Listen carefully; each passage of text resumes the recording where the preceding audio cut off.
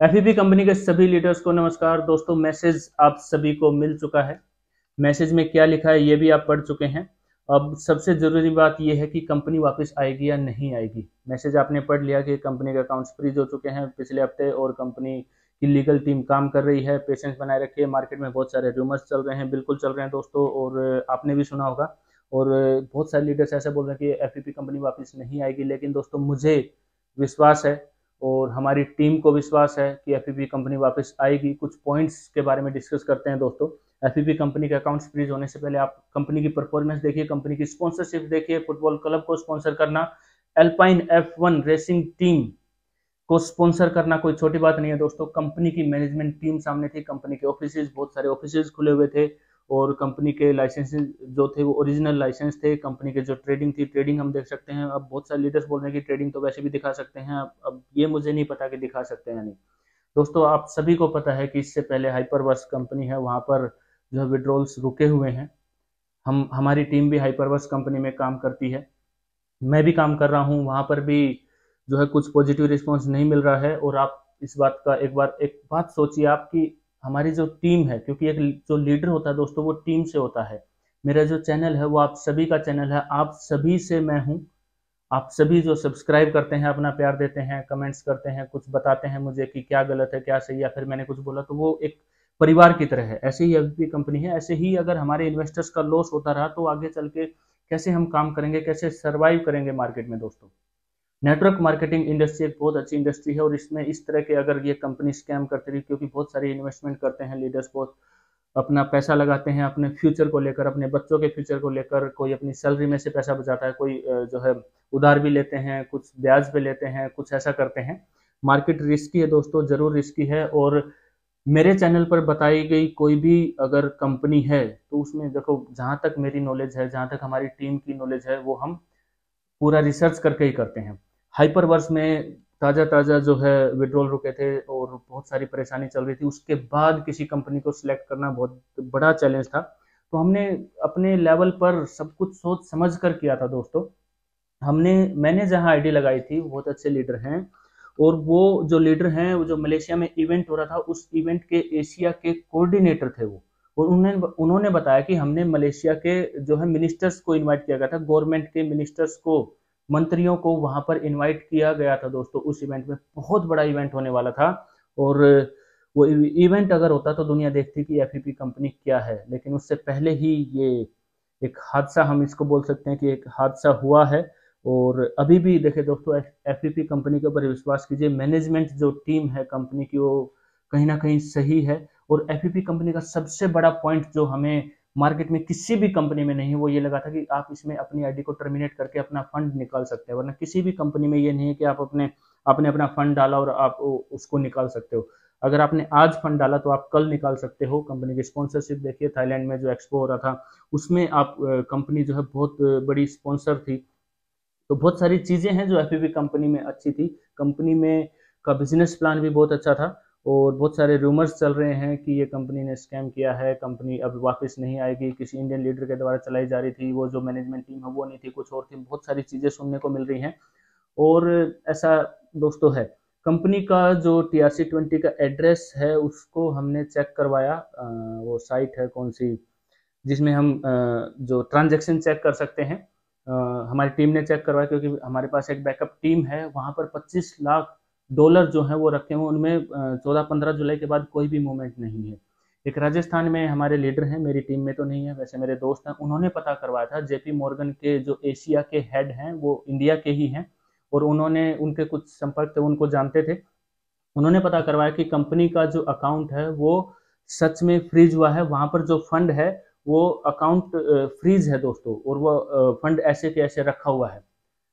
तो ये कुछ चीज़ें हैं, पता लग रही हैं। अब इनका प्रूफ तो नहीं है मेरे पास, लेकिन हम भी मार्केट में पता कर रहे हैं इधर उधर से सारा सब कुछ लगे हुए हैं दोस्तों, क्योंकि आप सब हैं तो हम हैं, वरना आपके भी नाम क्या है? अगर इसी तरह स्कैम होते रहे तो हम कैसे मार्केट में सर्वाइव करेंगे? कैसे लोग विश्वास करेंगे? और मैं कोशिश करता हूँ कि मेरे द्वारा कोई भी प्रोजेक्ट अगर आपको बताया जा रहा है तो वो उसका जो है पूरी तरह से हम उसके बारे में देखें, सोचें, समझें और कंपनी की परफॉर्मेंस को देखें प्रोफ़ाइल को देखें तो वैसा सब कुछ चल रहा है। हाइपरवर्स का भी जिस समय हमने शुरू किया तो उस समय अच्छा प्रोफ़ाइल था, सब कुछ बढ़िया था और इस तरह की विड्रोल्स की प्रॉब्लम हुई। अब उसके बारे में भी मुझे वीडियो बनानी है और मैंने आपको बताया कि उसके बारे में मैंने वीडियो क्यों नहीं बनाई तो उससे जो नेक्स्ट वीडियो बहुत ही जल्दी मैं वीडियो लेकर आऊँगा और उसकी सिचुएशन के बारे में भी आपको ज़रूर बताऊँगा दोस्तों। अभी भी हम टीम को पूरा सपोर्ट कर रहे हैं और एफएपी कंपनी के ऊपर ज़रूर विश्वास रखे दोस्तों एफ़ कंपनी ज़रूर वापस आएगी। अब एफ़ कंपनी जो जहाँ तक हमारी जानकारी है तो हमारे सीनियर्स बोल रहे हैं कि दो महीने से पहले भी कंपनी आ सकती है। कंपनी ने मैक्सिमम टाइम दिया है। तो दोस्तों, शांति से वेट करते रहिए, विश्वास बनाए रखिए। एफ़ कंपनी ज़रूर वापस आएगी। सारा सब कुछ पहले की तरह ज़रूर ठीक होगा दोस्तों। और वापस आने के बाद, देखो मार्केट ये रिस्की है। बहुत सारे लीडर्स ने अगर इन्वेस्टमेंट ऐसी कंपनीज़ में कोई भी करता है दोस्तों तो फ्यूचर में ध्यान रखिए, इतनी इन्वेस्टमेंट कीजिए कि अगर कुछ भी इस तरह की प्रॉब्लम हो तो आप उस पैसे को होल्ड कर सकें। कुछ टाइम के लिए होल्ड कर सकें। तो ये ज़रूर ध्यान रखिए दोस्तों और ऐसा मतलब मुझे कमेंट्स मिले हैं कि मोटिवेशन बहुत ज़्यादा होता है कि किसी भी लीडर के द्वारा मोटिवेशन बहुत ज़्यादा दिया जाता है। मोटिवेशन में आकर बहुत ज़्यादा इन्वेस्टमेंट करते हैं लीडर्स तो मैं भी इस तरह का ध्यान रखूँगा। बाकी मैं ध्यान रखता हूँ दोस्तों और मोटिवेशन क्या कंपनी का जो प्लान है वो तो डिस्कस करना ही पड़ता है वीडियो बनाते हुए और प्लान डिस्कस करते हुए तो जो प्लान में जो बताया गया है वो हम डिस्कस करते हैं।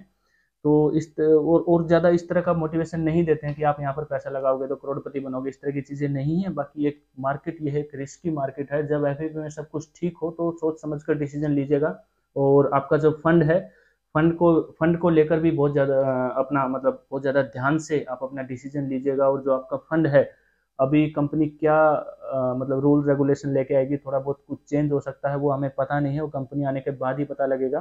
तो जहाँ तक मुझे लगता है दोस्तों कंपनी ज़रूर आएगी और ये जो मैसेज है कंपनी ने मैसेज दिया है तो इंतज़ार कीजिए दोस्तों और सब कुछ अच्छा होगा।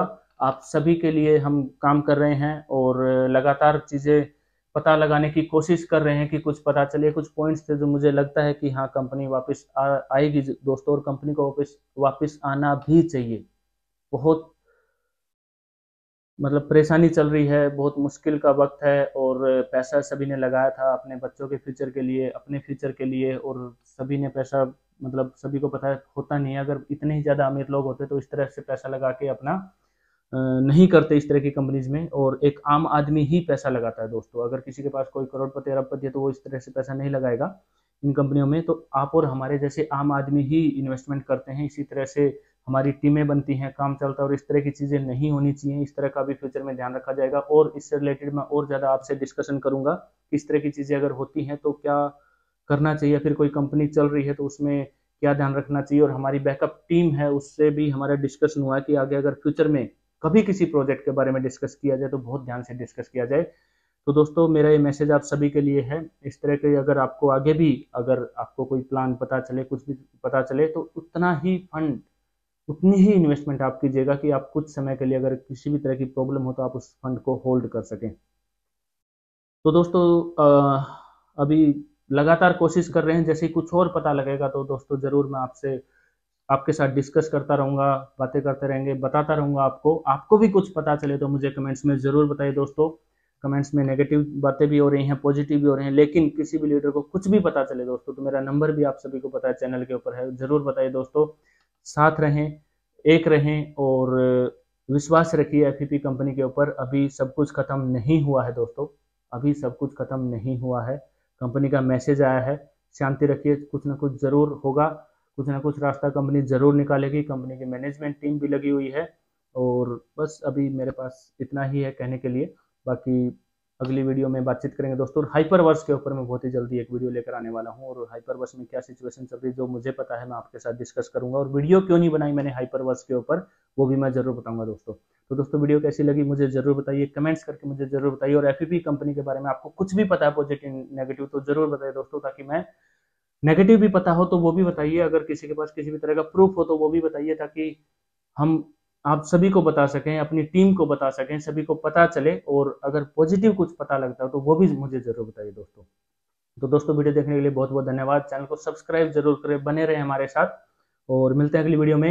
वीडियो देखने के लिए आपका बहुत बहुत धन्यवाद। जय हिंद, वंदे मातरम। नमस्ते इंडिया।